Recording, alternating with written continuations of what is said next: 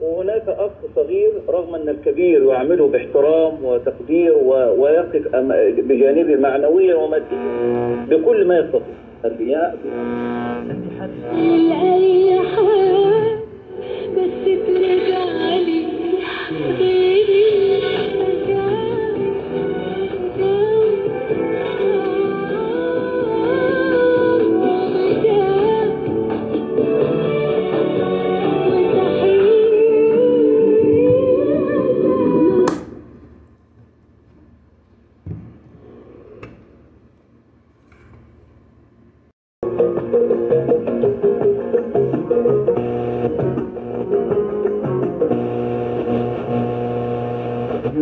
your needs met, this will always make you feel like you have accomplished something, and this will make you feel that you have your goal met.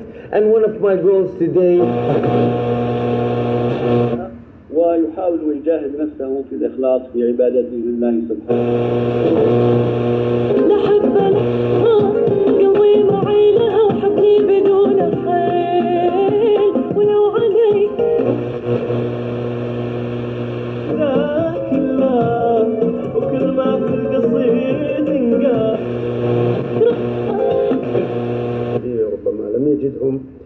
قام بتوزيعه على بعض الأشخاص وقال لهم وهو يوزع المال حسب حديثه آه، أن هذا هدية من أخيك فلان آه، وهو يعني في نيته الداخلية أنه يريد أن يتصدق بهذا المال عن ذلك الشخص أو تلك الجهة التي آه، أخذ المال منها فهل تصرفه هذا صحيح؟ إذا أولا هو كأنه ذكر أن هذا المال أخذه من مقاولات